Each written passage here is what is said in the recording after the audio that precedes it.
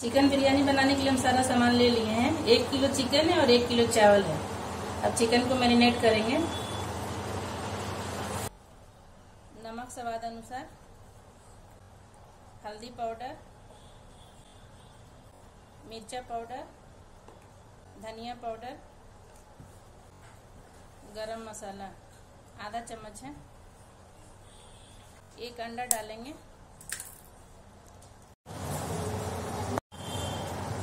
और एक चुटकी ऑरेंज फ़ूड कलर बेसन डालेंगे, एक पियाला है कॉर्नफ्लोर पाउडर आधा पियाला.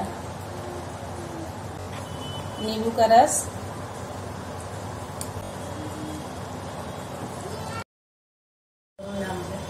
एक घंटे के लिए फ्रिज में रख देंगे मैरिनेट होने के लिए. प्याज को छील लिए थे, छील के धो लिए थे, और ऐसे बारीक बारीक सलाइस में काट लिए हैं. बारीक बारीक तेल डालेंगे। तेल गरम हो गया है, अब प्याज डालेंगे।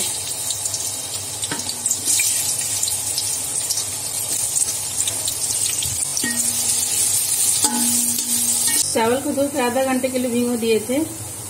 अब उबालने के लिए चढ़ा देंगे।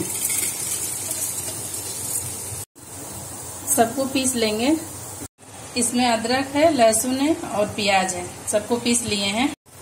प्याज लाल हो गया है। इसमें से थोड़ा प्याज निकाल लेंगे बिरयानी में डालने के लिए ऊपर से।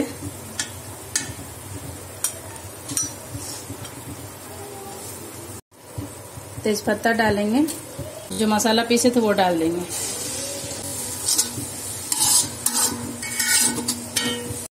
इस गिलास से हम छह गिलास पानी डाले हैं।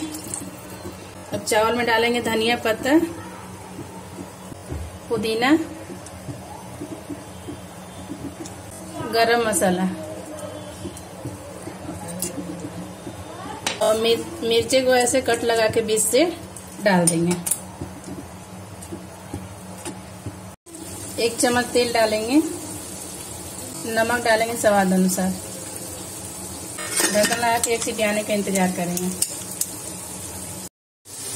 टमाटर को पीस लिए थे अब डाल देंगे। मिर्चा पाउडर धनिया पाउडर।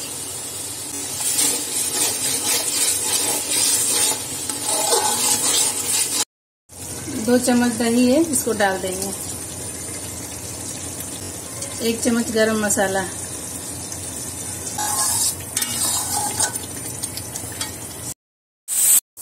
अब चिकन फ्राई कर लेंगे।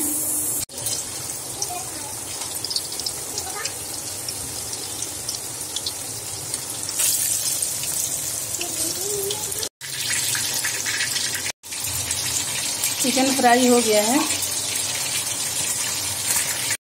नमक डालेंगे स्वाद अनुसार मसाले में। और सब में हम नमक डालेंगे तो उसी हिसाब से डालेंगे। बिरयानी मसाला डालेंगे। फ्राई करके रखे थे ना, वो डाल देंगे मसाले में।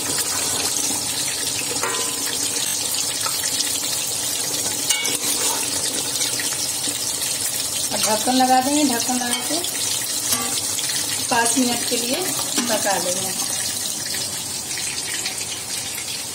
चिकन को पकते हुए पाँच मिनट हो गया है। अभी चावल जो बॉइल किए थे ना, डाल देंगे।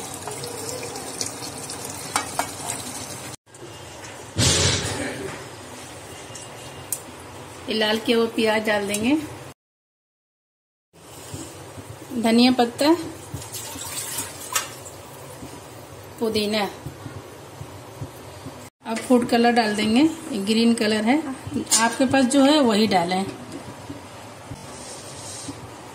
येलो कलर का है। ये रेड फ़ूड कलर।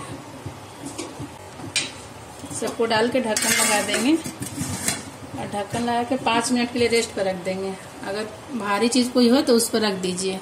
और नहीं है तो इसे ऐसा जुगाड़ लगा लीजिए पानी रख के। दम पर रखे हुए पाँच मिनट हो गया है, आइए देखते हैं।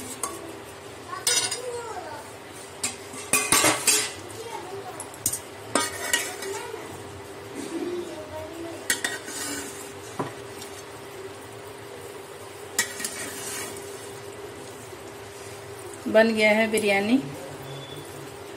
देखिए खिले खिले चावल बन के तैयार है। लीजिए बन के तैयार है चिकन बिरयानी तो आप लोग भी बनाइए और रेसिपी अच्छी लगी तो लाइक शेयर कमेंट करिए।